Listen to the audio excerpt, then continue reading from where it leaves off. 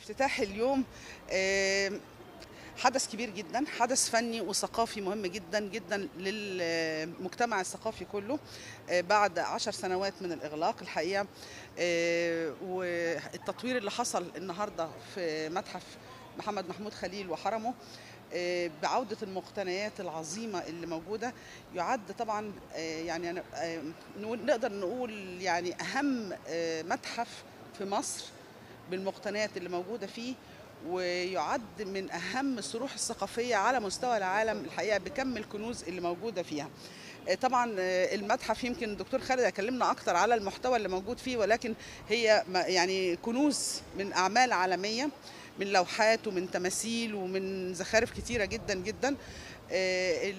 الفريق العمل اللي يعني قام بالمهمة دي الحقيقة يعني هو طبعا ترميم المتحف تم على آه، عدة سنوات